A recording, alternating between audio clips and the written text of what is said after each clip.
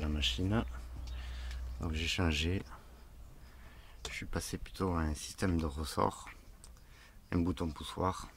Voilà. Très simple à faire. Voilà. Bon, euh, le branchement pour l'instant c'est du provisoire. À l'intérieur là-dedans, ici je ferai un régulateur de tension avec un voltmètre quelque part. Là pour l'instant le voltmètre il est à l'extérieur, voilà. Ça c'est celui que j'ai fabriqué, machine fabriquée, maintenant c'est la pédale qui est fabriquée.